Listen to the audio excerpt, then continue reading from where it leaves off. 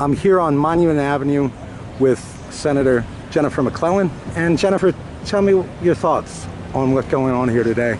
So it's um, it's really amazing. Um, I think there's just a very positive energy of a lot of people who are excited to see change.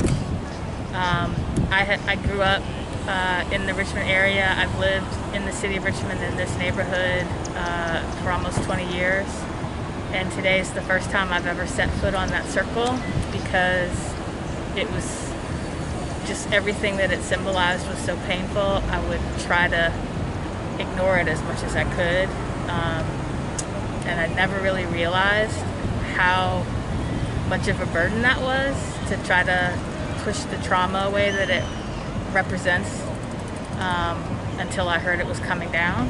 And so now to be out here and see so many people, I mean, kids taking graduation pictures up there, young families who are just here for the history moment, but are also here because it's the beginning of, of healing. Um, but we've got a long way to go, and now we have to address the um, the systematic inequity that is just as much a monument to white supremacy as, as this statue. Right, and, and, and there was truly a palpable sigh of relief. Yeah. I was absolutely amazed. And then I'm also surprised constantly, day by day, 12 days now, I guess. Is it, hasn't it been since Nine, twelve, they that horrible murder?